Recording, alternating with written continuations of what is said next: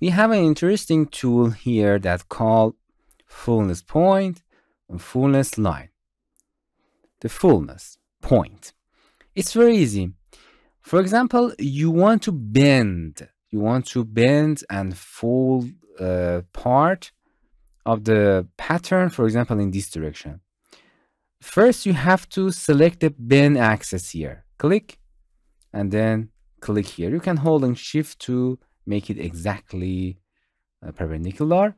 And then you have to uh, select which side do you want to bend. This side at bend. And after that, you can just drag.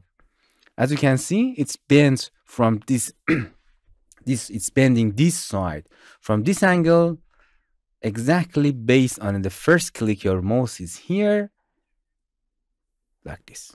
You can hold and shift or you can exactly use the guides here. And then click.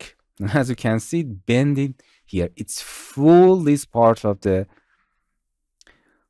uh, pattern. If you want to bend it from this direction, what can I do? You can select it again, click, and then click, select this part. Oh, sorry. If you want to bend it from this direction, you have to first select this side and then this side, and then you can bend it in this direction. This is fullness point.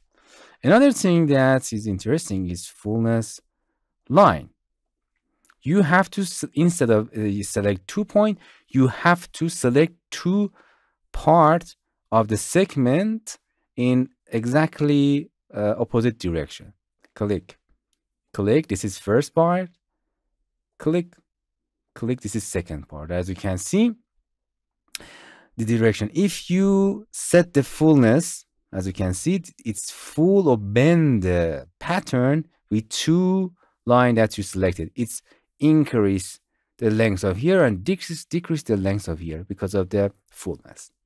Or if you want to slash it, it's go opposite direction. This is in fullness and slash. You can change the movement by length here or distance movement.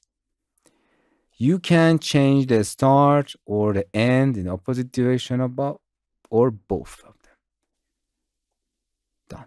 as you can see, you select two area of two segments that are uh, exactly in opposite direction. And the software, for example, fools some edge of uh, some segment and slash or in, decrease the length of the opposite length. And this uh, process uh, calls the this pattern bending.